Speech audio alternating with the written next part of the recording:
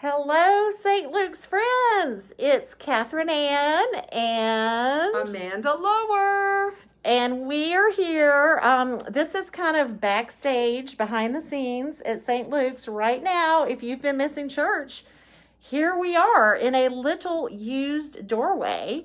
In fact, uh, this is the one that's right outside the sanctuary door. And it's where, honestly, this is kind of sad, but we still have stored the props that we were going to use in our March children's um, musical. We have the boat. See the boat? And then it was near Lent. So we had the cross and we even had the manger for baby Jesus. If I can find it for you. Oh, I'm terrible at this.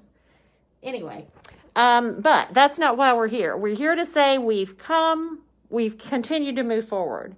We're sad we missed the musical. We're sad that Lent was different. We're sad that Easter was different, but we're happy that it still happened and that we're still together like this.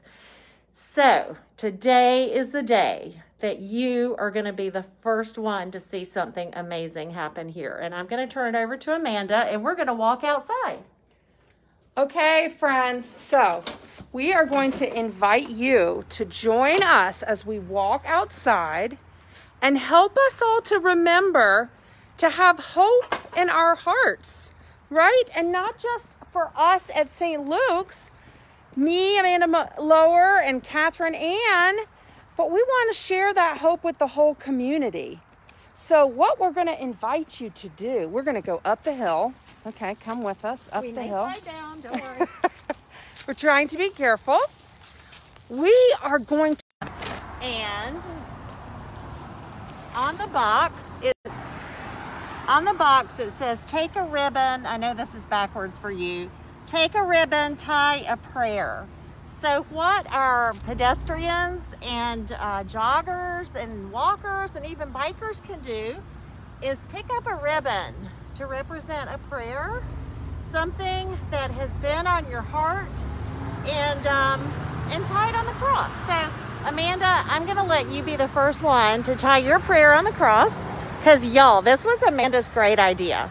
Okay, I'm going to choose this gorgeous color right here. Okay. I'm going to say a prayer.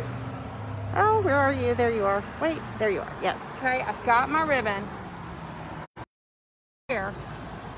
And now I'm going to tie the ribbon onto the cross.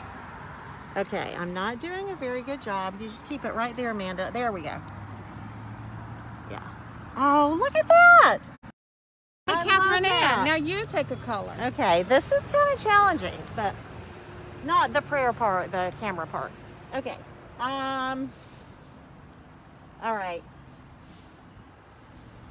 I'm going to choose yellow because it's a happy color. And I think we all have good things in the days to come to look forward to, and for that we are so grateful. So, if you have nothing to do tonight, come over to the church, pick a ribbon, tie on your prayer, put the lid back on so that when the rains come, we don't do a Noah's Ark reenaction.